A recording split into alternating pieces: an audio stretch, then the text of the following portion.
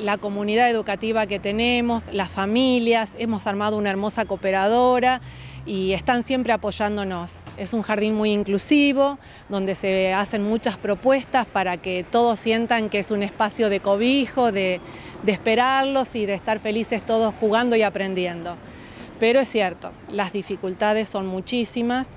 Desde el 31 de marzo que nos cortaron el gas, nosotros dependemos tanto del gas como de electricidad de la Escuela Manuel Belgrano. Ustedes saben que es la escuela madre que, y bueno, y dio que había una pequeña pérdida y entonces eso hace que cortáramos, se cortara el suministro. ¿Qué, ¿Qué llevó todo esto? A buscar un montón de estrategias. Muchas personas de la ciudad nos eh, colaboraron, eh, desde el municipio muy preocupado, eh, acompañándonos, el senador también acompañándonos en esta problemática, pero que aún no tenemos respuesta. Y estamos aprovechando esta oportunidad para independizarnos también en todos estos servicios. Es un tema muy complejo, este, ya tenemos algunas habilitaciones por Litoral Gas para seguir con este trámite del proyecto de independización, pero eh, lleva su tiempo y hay que ver el Ministerio cuál es la posibilidad de factibilidad de mm, que se solucione a través de la Escuela Belgrano, eh, la Escuela 499 o independizarnos. En realidad, el jardín se creó de la casa del director de la escuela tiene instalaciones que son obsoletas. Nosotros también en el año 2020 hicimos todo un reclamo de independización eléctrica por, por todo lo que vemos que es necesario, aparte en una situación que la, realidad nos muestra que tenemos que contar con un montón de, de, confort y de brindarle atmósferas agradables y de contención a nuestras infancias, pero es un tema difícil.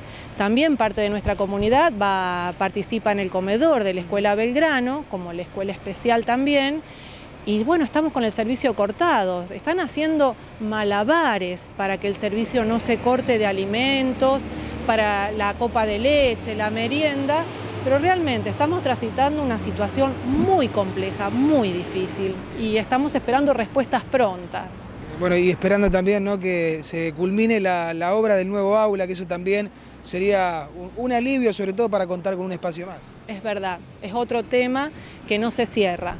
Eh, faltan dos etapas, más, dos etapas más para concretar esta aula y eso implica que una, un aula a la mañana y a la tarde estén en un espacio muy reducido. Las salas de cuatro no están en el mejor eh, lugar. Por supuesto, las docentes, el jardín se dispone a que todos podamos usar de otros espacios para ayudar a que la jornada sea lo más placentera para provocar desafíos en el aprendizaje, pero está todo muy, muy lento y sabemos que hay muchas personas de nuestra comunidad que están haciendo preguntas, eh, tanto el intendente siempre también nos está siempre preguntando si hay alguna noticia. Yo llego al jardín, lo primero que hago es ingresar a la cuenta del banco a ver si hay algún depósito para eh, que llegue antes de la comunicación formal, pero bueno, hasta el día de hoy no hay nada estamos a la espera. y como decíamos al principio, lo bueno, lo positivo, lo rescatable, el esfuerzo, el sacrificio que toda la comunidad educativa realiza. Sí, y además realmente eh, estamos manejándonos mucho por voluntades, el de colaborar, el de las familias, en ser muy respetuosas de todo lo que les comunicamos, de todo lo que pasa, de las resoluciones que tomamos. Una cooperadora que el viernes tenemos reunión que se, se hizo fuerte después de dos años que nos costó mucho sostener. Y bueno, y de brindar lo mejor, las maestras siempre con esa, con esa fuerza de seguir estudiando y buscar las mejores respuestas para, en esta realidad, el Jardín 330. No se pierde la esperanza de que los procesos se aceleren un poco. Jamás todos los días renovamos esa esperanza para el logro de que algo pase. Estamos siempre pensando, hoy es el día, así que vamos, estamos a la espera. ¿Cuántos chicos asisten al jardín, Claudia? En realidad 111 niños estamos eh, teniendo este año y tenemos algunas situaciones donde se están eh, haciendo una mirada hacia la inclusión y por las aulas reducidas bajamos 5 o 6 niños de la matrícula de otros años, pero bueno, es la realidad que tenemos.